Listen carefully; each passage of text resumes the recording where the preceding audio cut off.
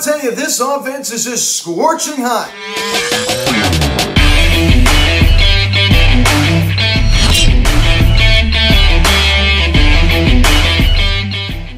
Going on, everybody? Welcome to Phillies Sensitive Media. Jerry Kaplan tonight's game between the Phillies and the Washington Nationals as the Phillies defeat the Nationals by a final score of 11 to 5 as we now take the first three games of this four-game series against the Nationals as we look for a series sweep tomorrow at 135. Now, guys, before we get into this video, subscribe if you haven't yet. Please engage the bell. Please like this video, comment on this video, share this video, and let's get it.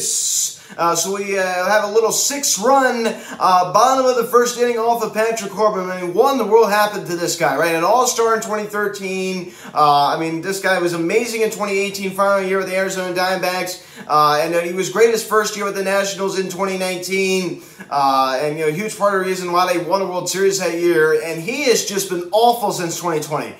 He, it's getting worse by the day. you know, he's, he's just slowly but surely regressed. Uh, I mean, what a what a this is a fall from grace uh, you know, from this guy. My goodness gracious, this guy has just been horrendous. One of the worst pitchers in all baseball. So because he's scoring summary here in the bottom of the first inning, Rhys Hoskins homers on a fly ball to left center field. Now three nights in a row he has gone deep. Three nights in a row.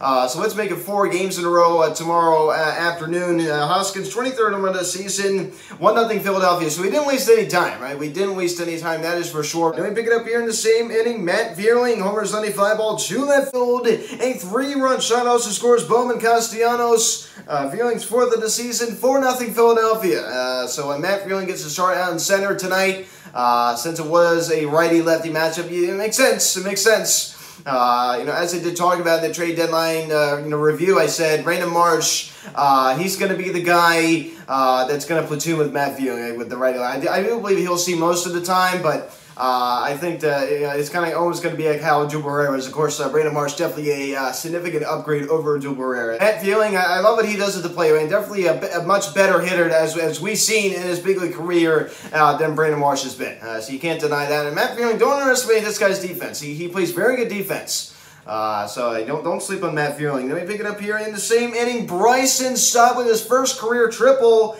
Uh, Zeke was on a short line drive to center field. Jean Segura and uh, Edmundo Sosa come around to score as it's now 6 0 Phillies. So, so put up a six spot uh, against Patrick Corbin in the bottom of the first inning. Uh, so what a way to pounce over this guy. Uh, so he just was throwing BBs, man. I mean, this right down the middle. A lot of uh, solid contact, as I alluded to before. Uh, so, I mean, uh, this, wow. I mean, uh, this was just an incredible to witness. Uh, you already won the first two games of the series in pretty comfortable fashion. You got the abbreviated win the first game. You felt pretty good about the victory last night, of course. Uh, and uh, you're already out to a 6 0 lead here just in the bottom of the first inning. Up here in the bottom of second inning, another triple, uh, and it was by a catcher. Uh, it was by our, our, very fast catcher. Is he fast for a catcher? He's just fast, period. I mean, uh, he's actually a pretty fast guy, as we talked about before, very athletic guy.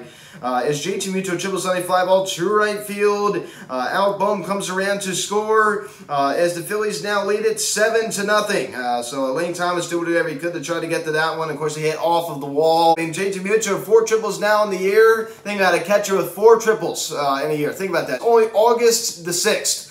Uh, and he already has four triples this year. I mean, that's just insane. Jordan Weems is on the mound at that point for Washington uh, since Patrick Corbin couldn't even get out of the first inning. Uh, so, so, how about that? JT Muto, of course, he would uh, you know do something else later in the ball game. We talk about that a little bit later. And then picking up here in the same inning, Nick Castellanos, stay hot. Uh, another RBI as he singles on a line drive the other way to right field. JT Real Realmuto comes around to score easily from third. Uh, this is now 8 nothing Phillies. 8 nothing Phillies. Uh, so we've talked about how good Nick Castellanos has been, you know, over the past two to three weeks. Uh, you know, nearly batting around 290 the last month. I mean, just in the OPS over the last month still hasn't been great, but it's been definitely getting higher over the past two to three weeks. I'm, I'm going to look more at what Nick Castellanos has done over the last two to three weeks. I think that's I think that's you know a little bit more significant. Uh, so how about that? 8 nothing Philadelphia. You know, pick it up here in the state meeting. Edmundo Sosa, double Sunday line trying to left field. Nick Castellanos comes around to score. Uh, Sosa's uh, fifth double of the season. Uh, of course, he was acquired uh, from the uh, St. Louis Cardinals in the JoJo Romero trade. Uh, so uh, nine nothing Phils. Uh, so we now put up a nine spot against the Nationals uh, in just the bottom of the second inning. I see this this ball game is over. I mean it, it was over. I, I, even thought it was over after the uh, the three on home run from Matt Vierling. Uh, but now it's like it's just like the like mercy, right? I mean Uncle. the National fans are calling out Uncle. you know this was just wow, just pouncing all over this team. They're picking up here in the top of the sixth inning. Uh, he finally gets his first one with the Nationals. Didn't take him too long as Luke Voit homers on a fly ball to right center field. As that one had just enough. Uh, Voit's 14th of the season, and it's now a 9 1 ball game. Uh, so uh, Luke Voit, I mean, probably the face of the Nationals. Uh, so talking about last night, it's just so weird. It's just so weird uh, to see this guy like be like the face of the Washington Nationals. I mean, uh, you know, just such a bad baseball team. Uh, I'm just sure he hates playing there. He saw he posted on his Instagram, so grateful for a new opportunity. He just knows like how would he be excited for playing for the for the Nationals? I mean, the National. I mean, I, I just can't believe it how bad they are. What a what a fall from grace. And I don't know for Patrick Corbin, but the, for the, like the Washington Nationals. Uh, they, I mean, just think about it. I mean, how good they, you know, were in, you know, that 2019 season. You know, they won the World Series, and where they are right now. Uh, you know, definitely this is, you know, strange sequence of events as I mentioned before. Baseball, in a lot of ways, is definitely a strange game. Then we pick it up here uh, in the same inning. Tres Barrera doubles on a sharp line drive to left field. Joey Meneses and Lane Thomas come around to score. Uh, and uh, that was Tres Barrera's first double of the season as the Nationals uh, got a little bit closer to 9 to 3 ball game. Uh, so I have to say, Ranger Suarez definitely started to fall apart there that inning. Of course, that was off of Nick Nelson. Uh, but it seems like the third turn through the order, Rangers Suarez does kind of seem to lose a little bit, uh, as we've seen before. and that's usually only why he goes, you know, five, six innings. He doesn't really go very deep, and that's that's a lot, a lot of reason why. Pick it up here in the same inning, Victor Robles hits a sharp ground ball to short. It goes into the hole. Unfortunately, Bryson Stott uh, fires the second. The throw was not in time as Tres Barrera came around to score on that one. As the Nationals now get even closer, 9 to 4 ball game. So I'll be honest, I was like not worried, but I was a little annoyed. Like just could have been a laugher, now you allowed him to come all the way back in the ball game like this. It wasn't a nine to six ball game now. It wasn't even a nine to seven ball game, but uh, still, it's not really a laugher anymore. Uh, so he put up a four spot, you know, pretty rare. You know, you don't really see it too much uh, in the top of the sixth inning. Uh, so Nationals definitely had a, a, good top of the sixth inning. Let me pick it up here in the bottom of the sixth inning. JT Realmuto. This man is just on another level right now. He does it again. As he overs on a fly ball to center field. A two-run shot scores Alec Bohm his 12th of the season. Uh, so I think the BCIB talks are certainly starting to come back. I mean, almost an 800 OPS now. It's 780. Uh, think about how much it's just been keep climbing and climbing and climbing. We've been watching it, uh, and it's now 11 to 4 Phillies. Uh, so JT, I mean, uh, JT, the man, the man, the man. Uh, so, uh, you know, keep up the good work, my friend. This guy is hitting the baseball all fields. He's hitting with power. Uh, so, you know, definitely the BCIB form right now, no question. We pick it up here in the top of the seventh inning. Lane Thomas hits a second base fly to center field. Nelson Cruz comes around to score. It's now an 11 to 5 ball game. So the Nationals get one back. Uh, but uh, that would be your final 11 to 5 Philadelphia. Uh, as we take three out of four against the Nationals, uh, Kyle Schwarber spot, a his performance uh, when he was able to draw a walk.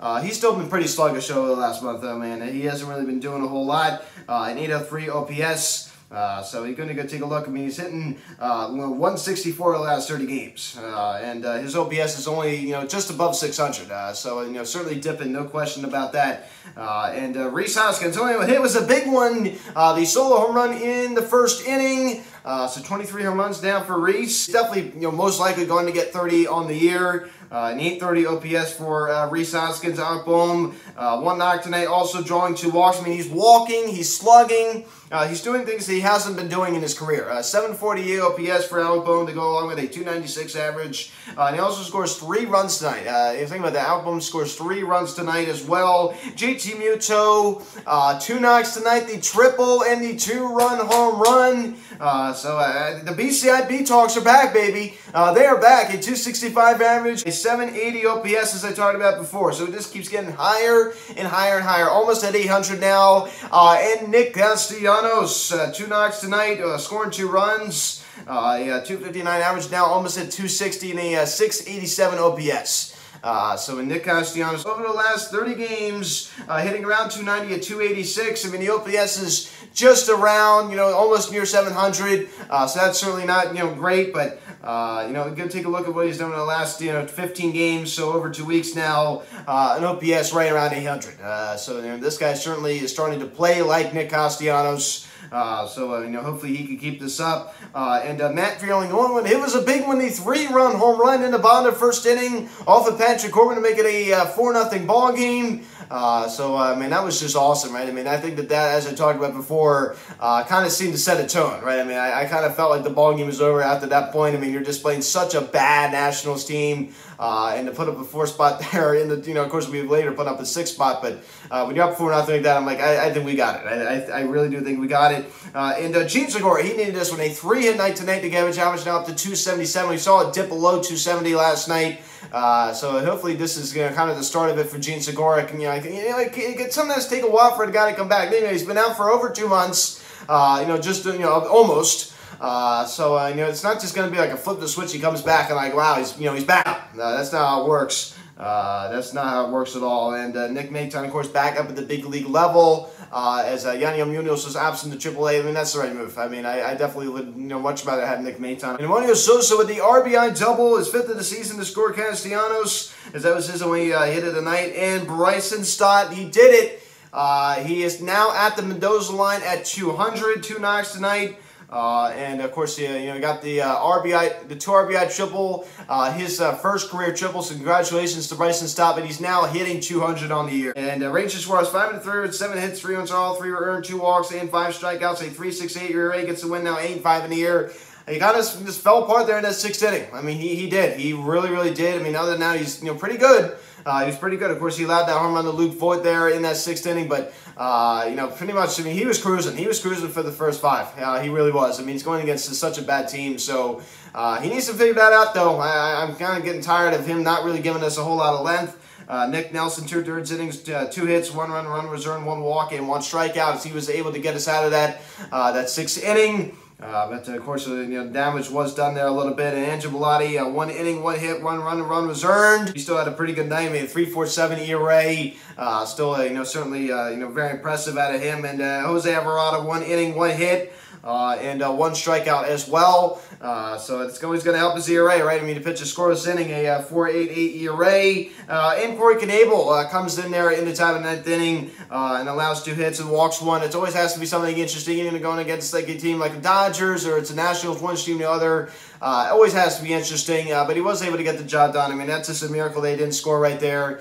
Uh, but I guess it really wouldn't matter. We were still up six runs at that point. Uh, so uh, that would be your final 11 to 5. Sleep tomorrow. You have to sleep tomorrow. Uh, so I, I, just love how JT has just been like so good. Like I, this seems like I'm like watching 2019 JT. I, I just I love how much I love how much he is producing. Uh, and I love how much Nick Castellanos is starting to look like his old self. And we need Kyle Schwarber to wake up. You know what? This lineup has depth. It really, really does. You see how much Alec Bohm stepped up, and when, it, when Bryce Harper comes back, I can't see things getting any worse. Uh, that is for sure. Uh, so things are only going to get better. Uh, so unfortunately, the New York Mets do sweep out the Atlanta Braves today in a doubleheader. You know, I'm sure Slita and Sergeant Gimme are not too happy about that one. Uh, so, I mean, I, the Mets are the better team. I mean, they, they proved it. Uh, they, they really have proved it. I mean, you can't deny it. I mean, I'm not real happy about it. Uh, I'll be honest with you, I'd much rather see the, you know, the Atlanta Braves, you know, take division rather than New York Mets just because of, you know, the whole New York Philly, you know, rivalry, of course. Uh, but I don't like either team. I dislike the Braves uh, less than I do the New York Mets, uh, so no question about that. Uh, and uh, then the Marlins lose as well. and of course, the Nationals on a four-game losing streak. so the Nationals 35 and 73. Ouch. Uh, so we do have a one game lead over the Milwaukee Brewers in uh, for that third wild card spot. The Phils and Cardinals both have the same record as the Cardinals now are leading the NL Central. Uh, so we need we need this third wild card spot. I want playoffs. So guys, thanks so much for watching this video. Please subscribe if you yet. Please engage the bell. Please like this video, comment on this video, share this video. Check out the social media link in the description section at Philly Science Media, Instagram, Instagram. Follow me on Twitter at Beyond Media. Or text 267-225-3292. Email me, Media at gmail.com. So guys, thanks so much for watching. I'm Luke and I'll talk to later. Let's go Phil. See you guys.